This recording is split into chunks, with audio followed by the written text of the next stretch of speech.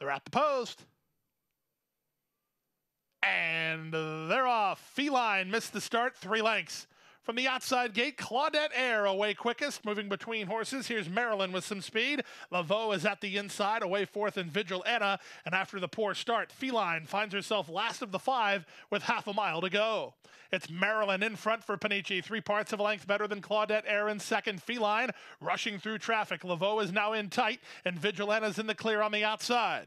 They swing around the far turn, separated by two lengths. It's Maryland nursing a neck lead. Up on the outside, Claudette Air is there second, three wide. Vigil Anna's now third. Feline needs some place to go, and so does Laveau, who's down toward the inside.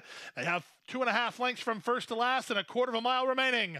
Up front, it's Claudette Air who has the lead. Maryland cuts the corner and tries to fight back second. Laveau's trying to thread the needle. Room for Feline between and over the top Vigil Anna. There's an eighth of a mile to go. They're all across the course here. Down the center, Vigil Anna tries to get Claudette Air. Feline is surging between. Maryland's at the rail. Claudette Air refusing to yield. Claudette Air in front.